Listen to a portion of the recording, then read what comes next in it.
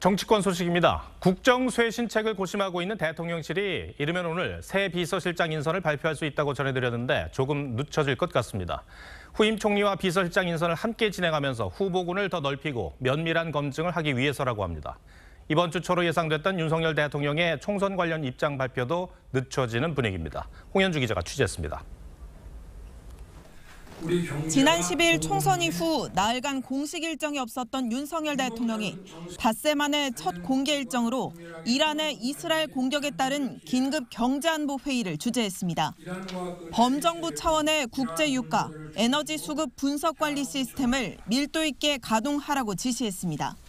한반도 안보 상황에 미칠 수 있는 영향을 꼼꼼히 점검해서 북한의 도발 가능성에도 만반의 대비 태세를 유지하기 바랍니다. 하지만 후임 총리와 비서실장 인선을 두고선 고심이 깊어지고 있습니다. 이르면 오늘 새 비서실장 인선이 발표될 거란 전망이 나왔지만 주중으로 미뤄지는 분위기입니다.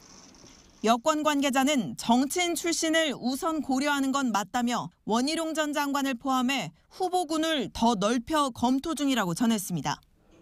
여소야대 전국을 돌파해야 하는 새 총리에는 야권 출신 인사까지 검토 대상에 포함시킨 걸로 전해졌습니다. 대통령실 고위 관계자는 이번 인선은 여당과 야당, 국민까지 3자를 만족시켜야 한다고 했습니다. 인사 발표가 늦어지면서 당초 내일로 예상됐던 윤 대통령의 총선 관련 입장 발표도 좀 더 시간을 갖고 검토한 뒤 이번 주내 이뤄질 것으로 보입니다. TV조선 홍현주입니다.